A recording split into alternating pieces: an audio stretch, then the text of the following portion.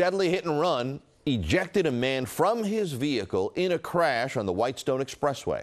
The collision occurred near Linden Place about 6:30 this morning. Police say the victim is a 44-year-old man. Investigators have not released his name, but say he was thrown from his silver Scion when it collided with a white Mercedes SUV. A search is underway for that vehicle and its driver.